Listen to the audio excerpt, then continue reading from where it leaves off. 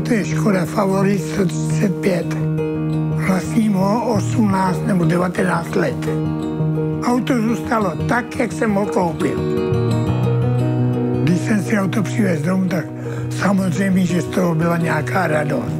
Ten favorit je natolik dobrý, že jsem nemusel na něj šáhnout za celý leta. Všechno je původní. Garáž jsem stavil sám, všechno jsem dělal sám. Teď už mě vozí vnučka, anebo syn.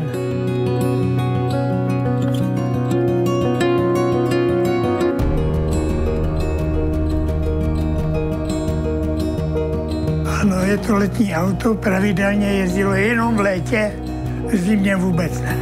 Kdyby vidělo auto sníh, tak se možná vyděsí. Mimo klasického servisu auto nemělo problému. Vždy jsem si buď udělal sám maličkosti, anebo nebylo potřeba.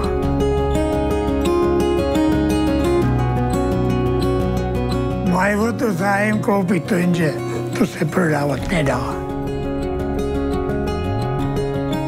Normálně, favorit.